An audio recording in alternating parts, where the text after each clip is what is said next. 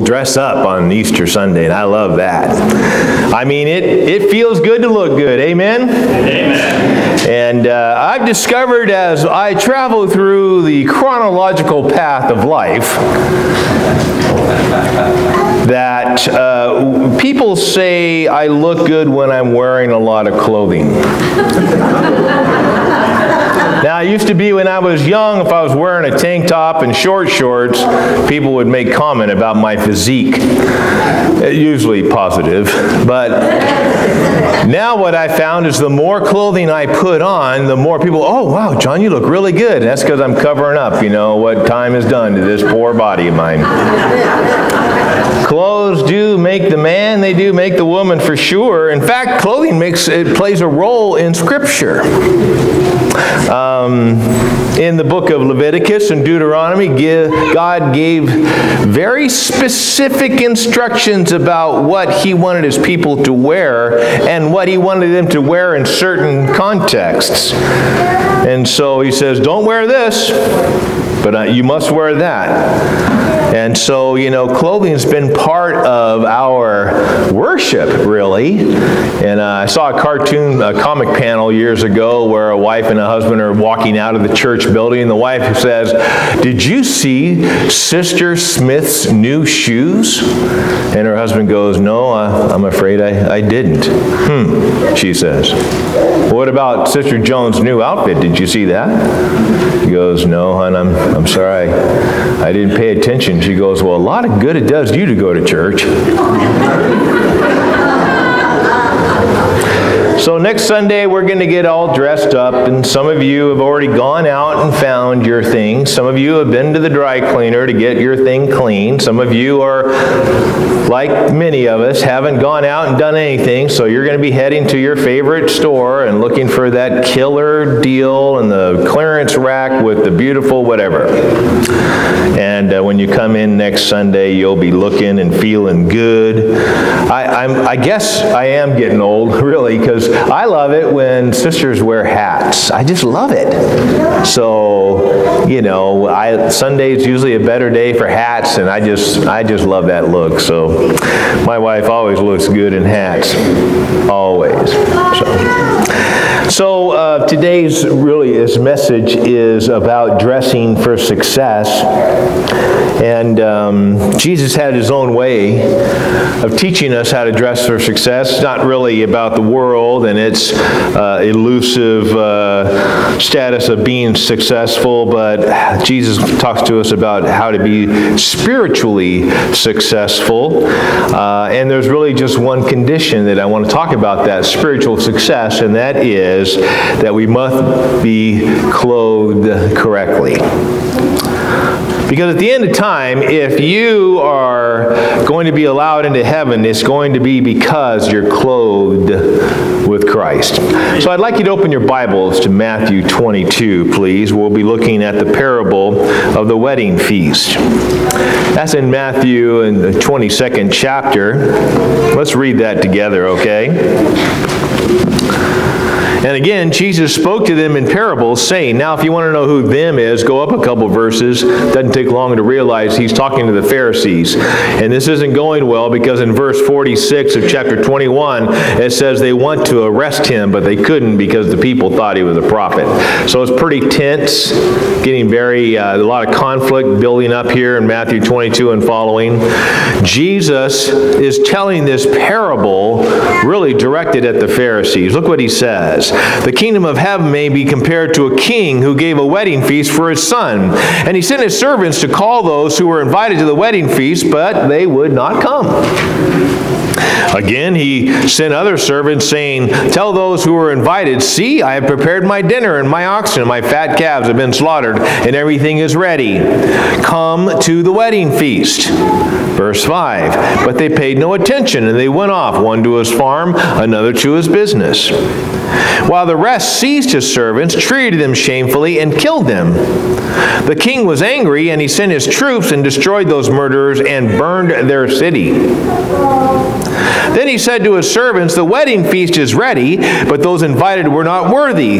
Go, therefore, to the main roads and invite them to the wedding feast, as many as you can find. And those servants went out in the roads, and they gathered all whom they found, both bad and good. So the wedding hall was filled with guests. Verse 11.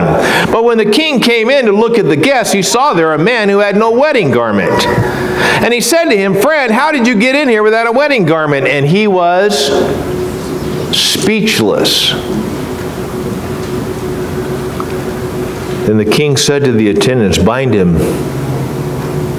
hand and foot and cast him into the outer darkness. In that place there will be weeping and gnashing of teeth.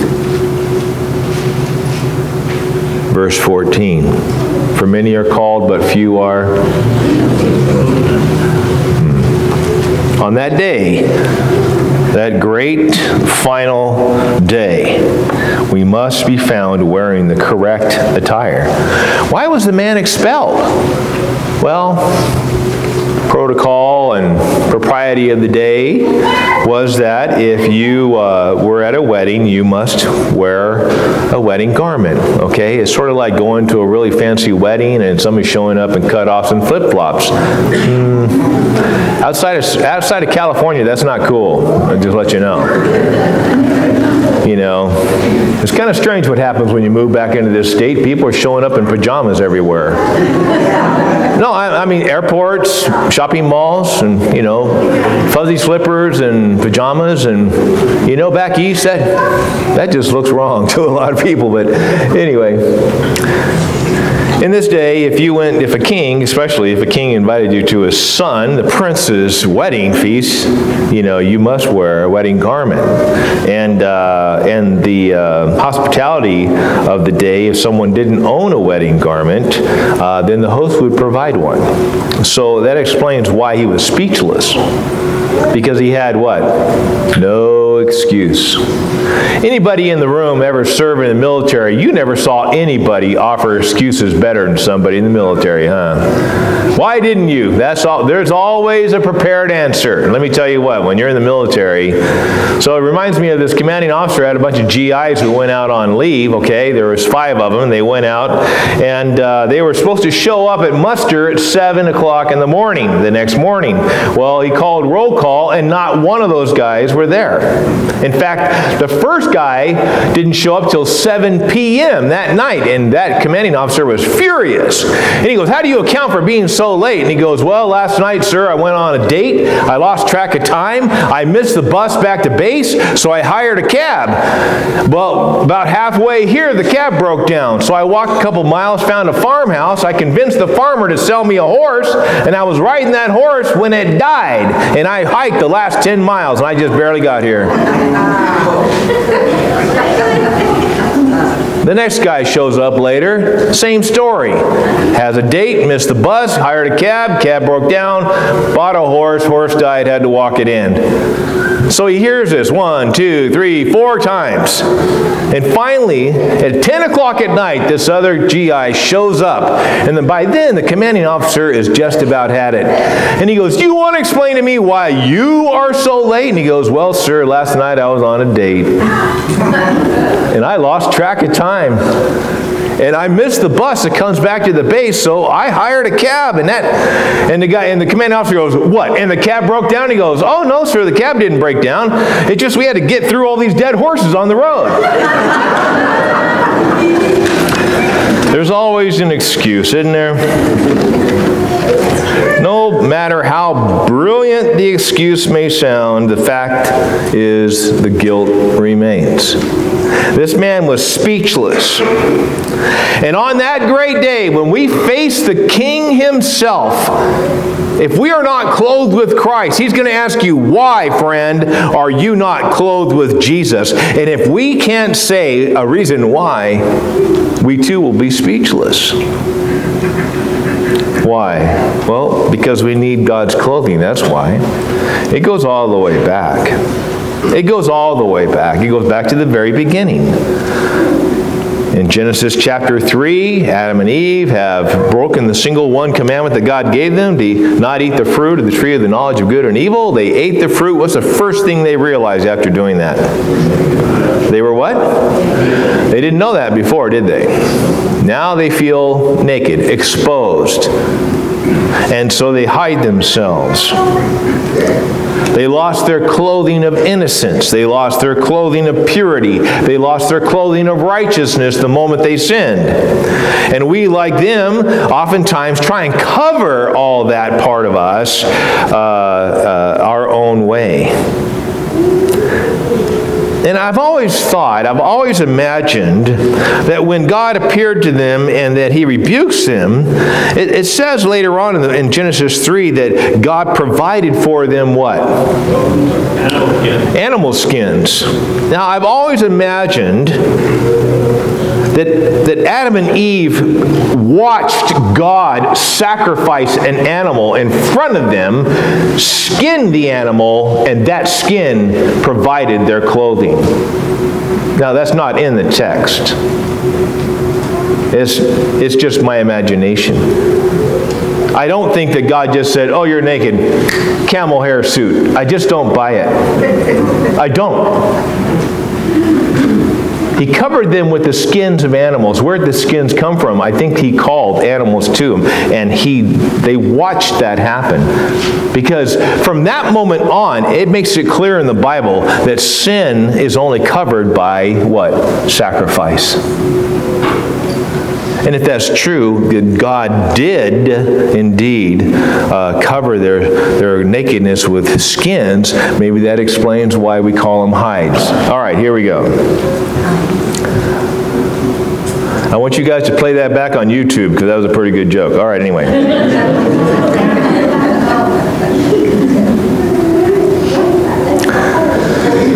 God's grace provides the covering we need for our sins. God's grace is custom fit for us. There was an executive who uh, was having throbbing headaches, and his throat was all uh, throbbing, his vision was blurred, and he went to the doctor, and the doctor ran some tests, and he says, Well, it looks like you're terminal. You've got about a month to live. So he cashed in all his IRAs and all his CDs and all this stuff, and he, he says, I'm going to live this last 30 days the way I've always wanted to. And one of the things he's always wanted to do is have some custom made shirts. So he went to Patrick James, purveyor to gentlemen, and he had some shirts measured. And so the guy was running the tape down the arm and down around, you know, and he put the tape around his neck, and he says 17. And the guy and the, and the executive says, No, no, no. I wear a size 16 shirt. Okay, sir, let me run the tape again. Runs the tape around his neck.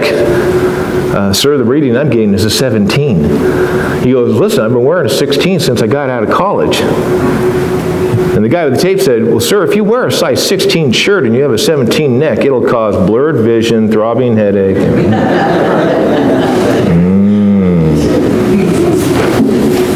But grace is custom fit for us.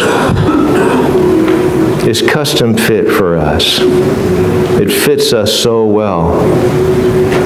And um, speaking of clothing, the New Testament makes it clear that we must be clothed when God looks at us, He doesn't just see us and our sins, but He sees Christ on us, right? Galatians chapter 3, it says, You are all sons of God through faith, right?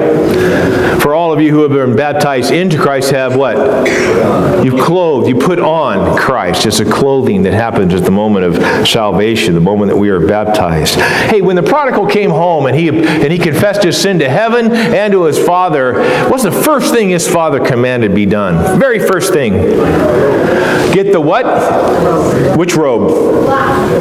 The best robe. Get the best robe and put him on it. Why? Why was the father so uh, demanding that his son, who came from this long walk, we suppose, and this long journey and, in, in filth and whatever he looked like after feeding pigs and walking all that journey, and he came to his father, and the, the father said, The first thing we got to do is what? We've got to clothe him. We've got to cover all that sin and all that dirt from the sin. We've got to clothe him and we put the best robe on him. Because he's not a sinner, a prodigal. He's my what? He's my son. He's my child. And my children don't look like that. Same with God.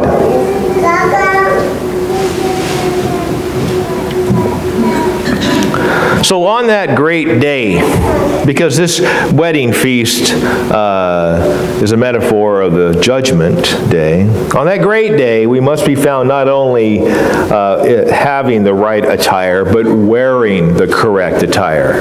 Okay? It's not enough that we know where the clothing is, it's not enough that we have the clothing hanging in our closet, it's not enough that we wear the clothing once a week on Sundays. No, many are called, few are chosen, you see.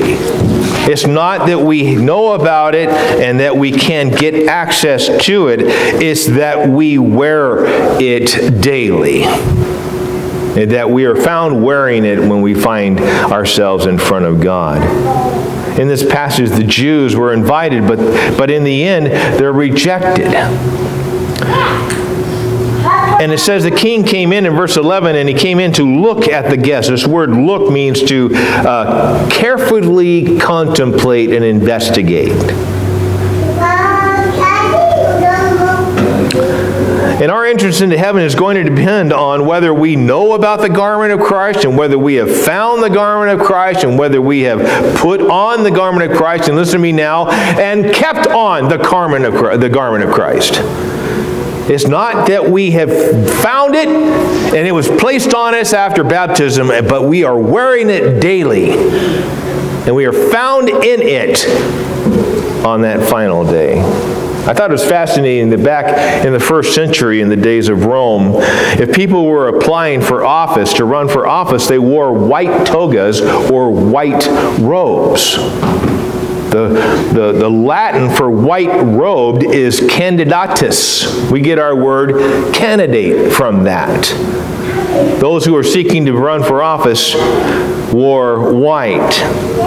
And candidates for heaven are also going to be wearing white. As we look in Revelation chapter 3, beginning at verse 4, he's writing to the church in Sardis. And in, and in Revelation 3 and verse 4, yet you still have a few names in Sardis, people who have not soiled their garments, and they will walk with me in white, for they are worthy, it says, verse 5.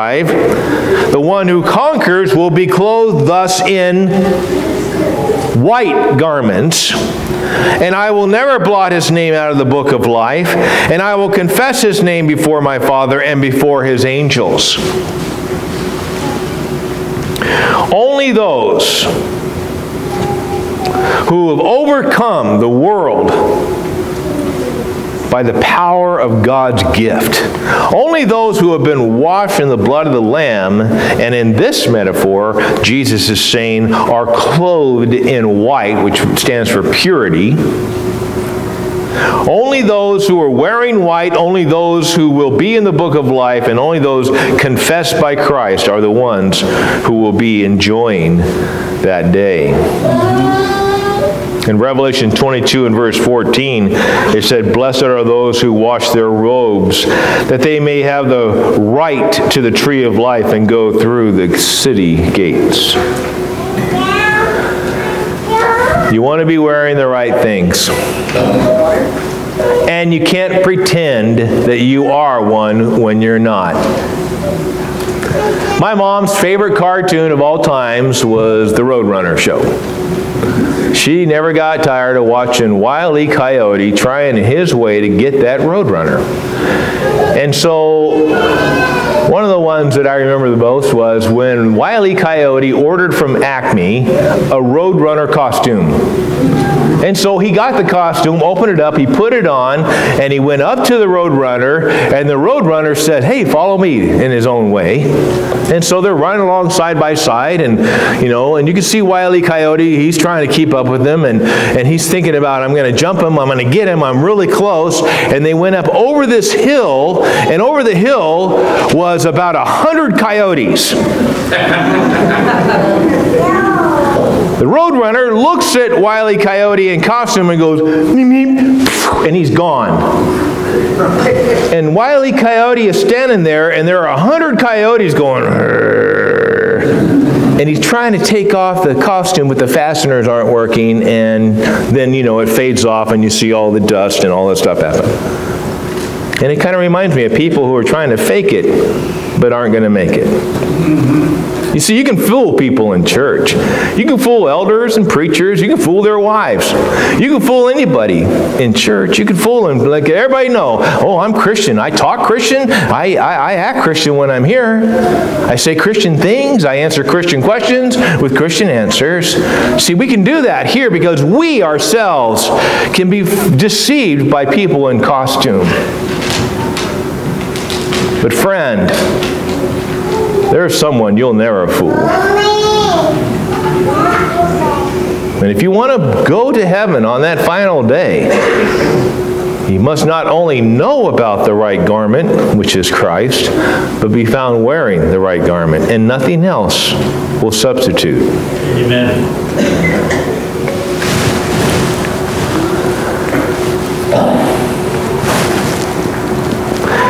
I love that song in the hymn book, uh, Oh, I want to see him and look upon his face. You know, if Myron did anything for us during the lectureship was to get us to pay attention to the wording in the hymnal. What, what, what's going on with that hymn? You know, I, I, knew that when I asked Myron to come out, he wasn't going to be a musician who was going to technically tell us how to do our parts. That's not what he does. What he does to say is this this is what this song is really about. And when you sing it, you know, here's how to sing it the right way. Oh, I want to see him and look upon his face.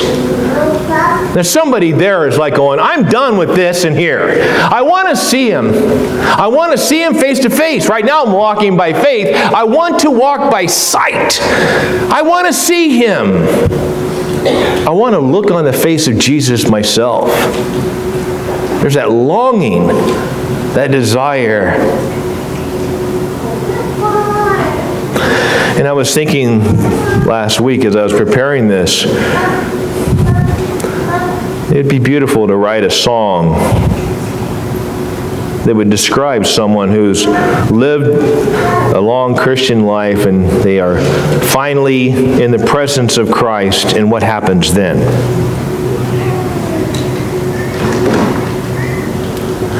That, that perhaps Jesus would go up to that, that uh, Christian and um, ask them for the garment they've been wearing. The one they received at baptism. The one that is worn from use.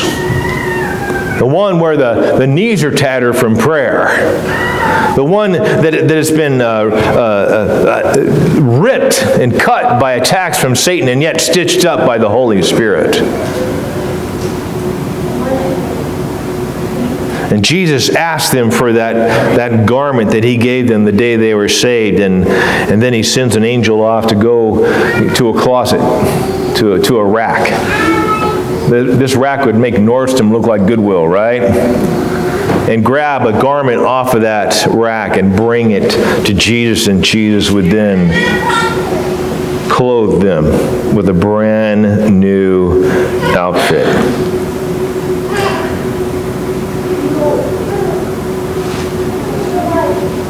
I see that happening.